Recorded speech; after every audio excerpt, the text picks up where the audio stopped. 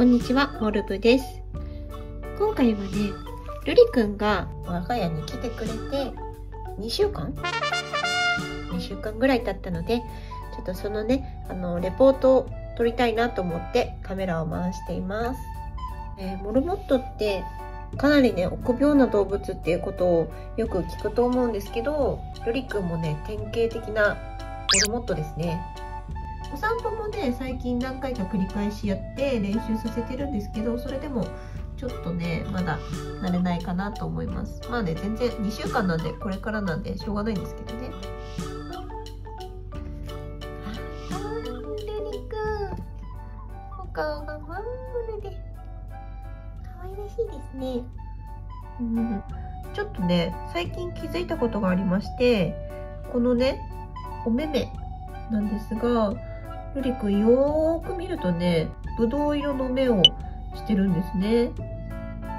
うちのね、あの照明が蛍光灯の光、ちょっとオレンジっぽい光なんですけど、それにね、反射してよくあの目が赤っぽく映ってたんで、もしかしてこの子ルビーアイっぽいのかなって、赤い目の子なのかなって思ってたんですけど、そうじゃなくて、色素が薄いせいで、ライトが目に反射して赤く映ってたみたいなんですね。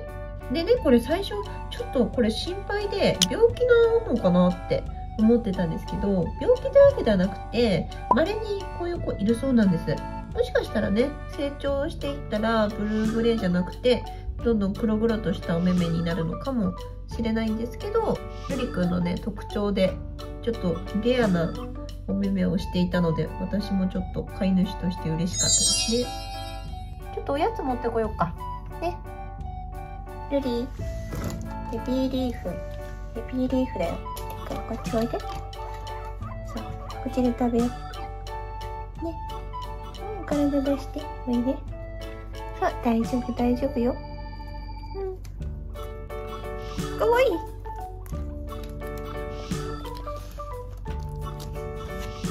今のところベビーリーフとレタスとキャベツを食べてくれてます。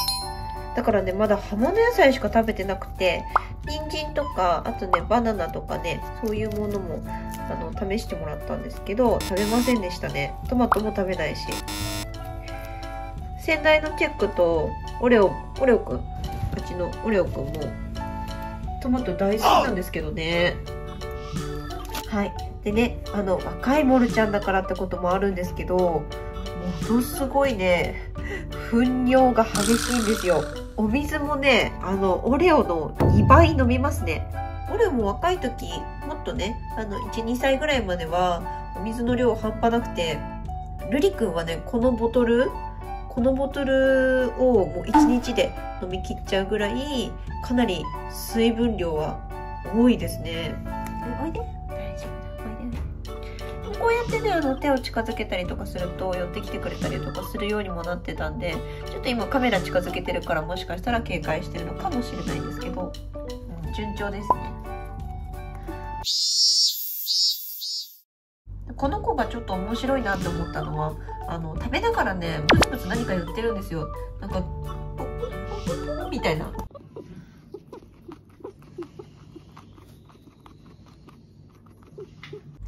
ププププ言いながらねご飯を食べるんですね。はい。でね今はかなりマシなんですけどあのペットシーツをめくる癖がねすごいですね。あの昨日の夜もね激しくあのめくって大変なことになってました。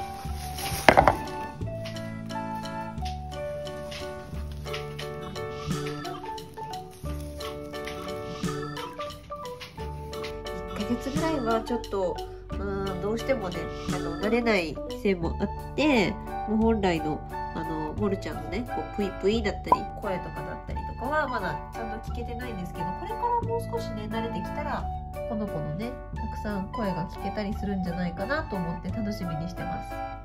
ほらもうちょっとあるよ。おいでこっち。部屋隠れてない。さ。こっちでお話ししよう。ルリくん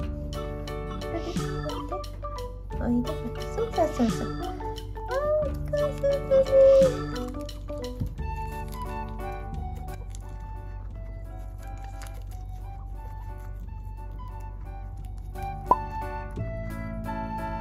はい、あとね特徴なんですけどルリくん今ちょっとお尻隠してますがお尻のねところがねちょっとあの毛が長いんですよ。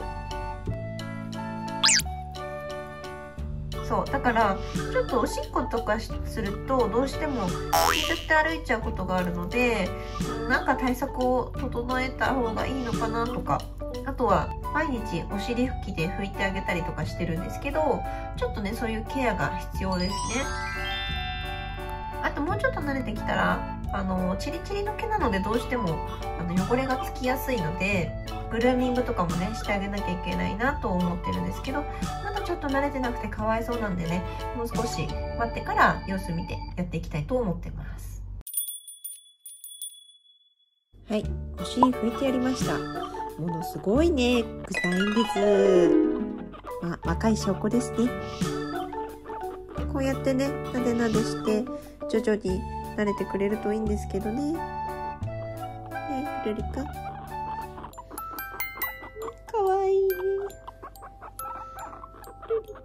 わいいかわいいよ。というわけでね、あのー、これからもルリくんをよろしくお願いします。では、最後まで見ていただきありがとうございました。よければ、グッドボタンとチャンネル登録、そしてインスタグラムもやってますので、フォローをお願いします。それでは。